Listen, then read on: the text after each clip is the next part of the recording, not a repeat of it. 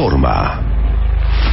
Charlábamos ayer a esta hora con Víctor Palpacelli, titular de la Cámara que nuclea a los supermercadistas de Córdoba, eh, señalar que todavía no habían llegado a la provincia las listas con los nuevos valores entregados por los proveedores a los supermercados, que aguardaban que por lo menos eh, iba a demorar a, eh, esta semana, así que imagina uno que ya la semana que viene, con noviembre caminando, los precios estén.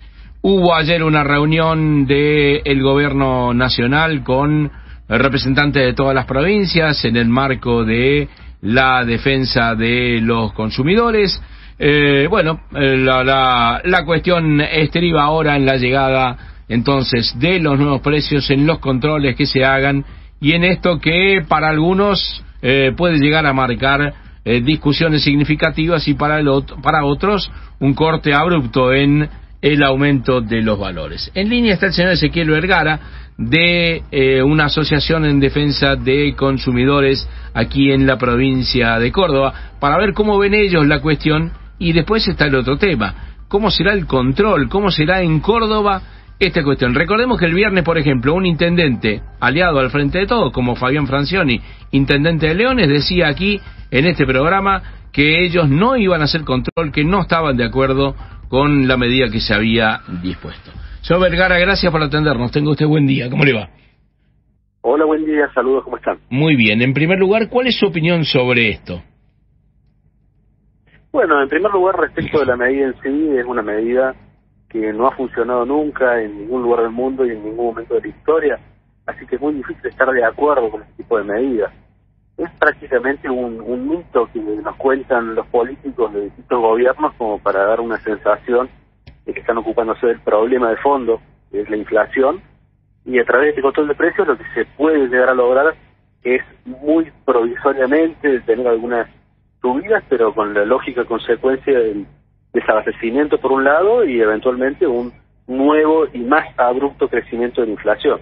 Así que desde ya, desde lo que es la perspectiva económica, estamos en contra de este tipo de medidas, independientemente del gobierno que las tome, por supuesto. eh, mm, esta toma de posición implica también una toma en una eventual participación en lo que hace el control de precios por parte de la asociación de ustedes, imagino. No, no necesariamente. Eh, hemos sido convocadas las asociaciones de consumidores justamente a efectos de realizar el control de precios.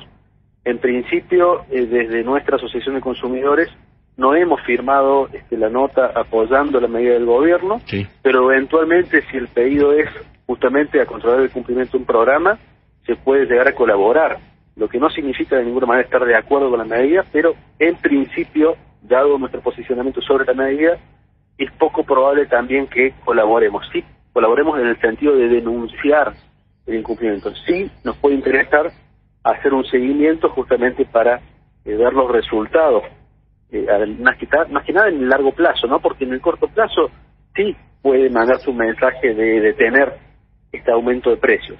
Hay que ver algo, ya desde lo terminológico estamos hablando de una forma un poco confusa, porque cuando se habla de aumento de precios en estos casos, en realidad y técnicamente lo más correcto sería hablar de una depreciación del valor de la moneda. Eso es lo que ocurre, y no un aumento de los precios. Porque cuando es general, cuando también los sueldos, y otros servicios y productos que están fuera de las góndolas de los supermercados también aumentan, entre comillas, los precios, el fenómeno real al que estamos asistiendo es la desvalorización del peso y eso es lo que realmente el gobierno podría solucionar.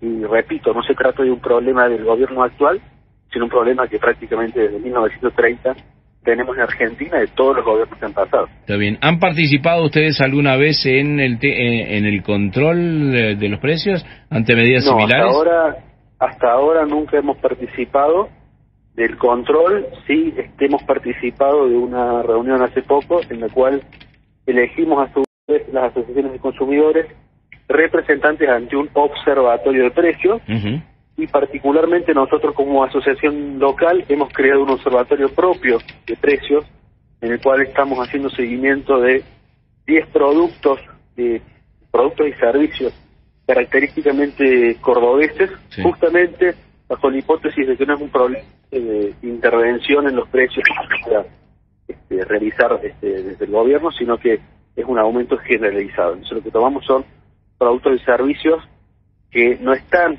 en, los supermercados. ¿Hola? ¿Señor Vergara? respecto a este aumento general. ¿Usted cree que, por ejemplo, estos eh, eh, estos precios congelados debieran trasladarse también a los miles de puntos de venta que, que son los almacenes? La verdad es que no consideramos que sea una medida que funcione. Ajá.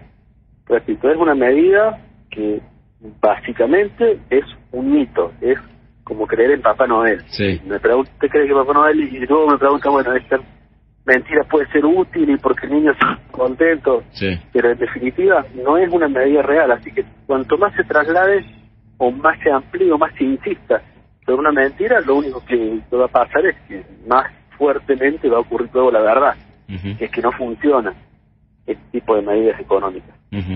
Por lo tanto, considero que no debería tomarse la medida y mucho menos trasladarse a, a más actores. Está claro.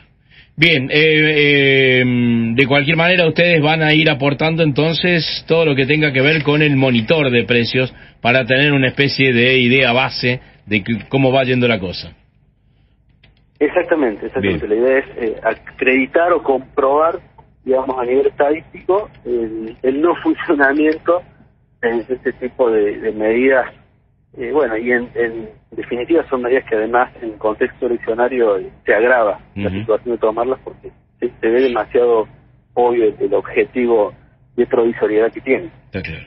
Ezequiel Vergara de la Acción y Defensa del Consumidor e Inquilino, gracias por habernos atendido, que tenga usted una excelente Muchas gracias a ustedes, que anden muy bien. Hasta luego. 7 y 16 decía, Córdoba tuvo ayer un representante en este encuentro con eh, Roberto Feletti, el secretario de Comercio Interior, fue el eh, titular, eh, un organismo que depende del Ministerio de Industria, Comercio y la Producción de la provincia de Córdoba, la, la Dirección de Defensa del Consumidor estuvo en esa reunión. 7 y 17, Cecilia Lorenzo, el buen día para vos.